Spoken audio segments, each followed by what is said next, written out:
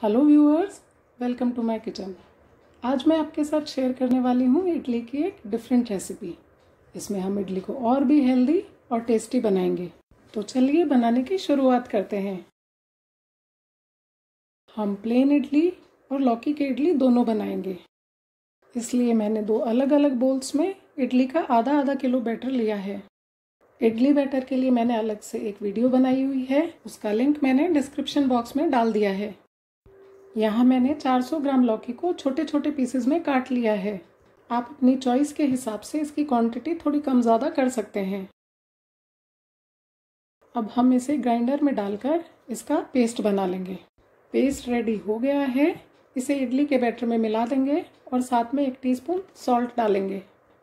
अगर आप इसे स्पाइसी बनाना चाहते हैं तो लौकी को ग्राइंड करते समय इसमें दो तीन हरी मिर्च भी डाल सकते हैं। इसे अच्छे से मिक्स कर लेंगे। और इसके लिए एक छोटा सा तड़का रेडी करेंगे।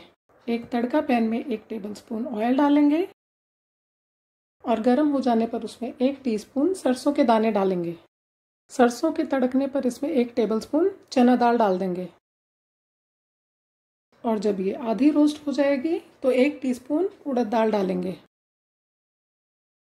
दोनों दालें रोस्ट होने पर इसमें 10-12 करी पत्ता डाल देंगे और फ्लेम को बंद कर देंगे। इसे थोड़ा सा ठंडा होने देंगे और लौकी के बैटर में मिला लेंगे।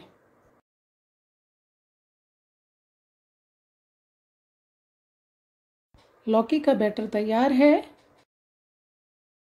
अब प्लेन बैटर में एक टीस्पून सॉल्ट डालेंगे और अच्छे से मिक्स कर लेंगे।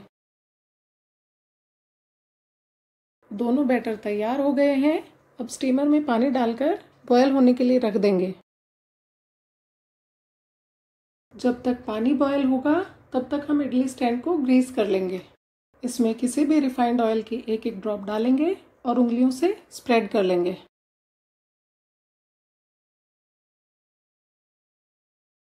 अब ग्रीस किए हुए स्टैंड में बैटर डालेंगे। ये प्लेन इडली का बैटर है। हम बैटर को ज़्यादा ऊपर तक नहीं भरेंगे, वरना ये बाहर निकलेगा।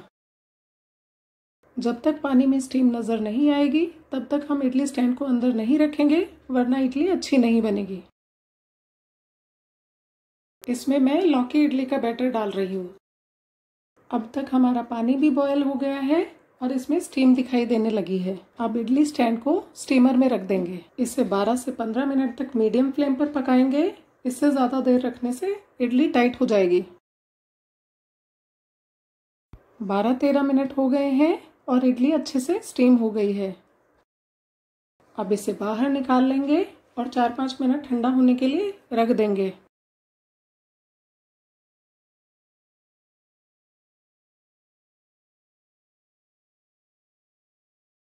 इडली नॉर्मल हो गई है। अब एक स्पून की हेल्प से इसे डीमोल्ड कर लेंगे।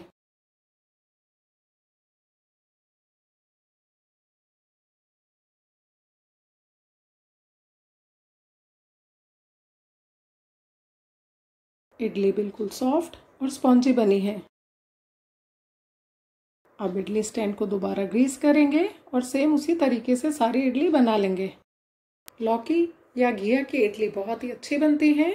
आप इन्हें ज़रूर ट्राई करें। अगर आप लौकी की सब्ज़ी खाना पसंद नहीं करते तो एक बार इस तरीके से लौकी की इडली बनाकर ज़रूर देखें। आपको पता भी नहीं चलेगा कि इसमें लौकी डली है और ये आपको बहुत पसंद आएगी। थैंक यू फॉर वॉचिंग अगर आपको मेरी ये रेसिपी पसंद आई तो मेरे चैनल को सब्सक्राइब करें।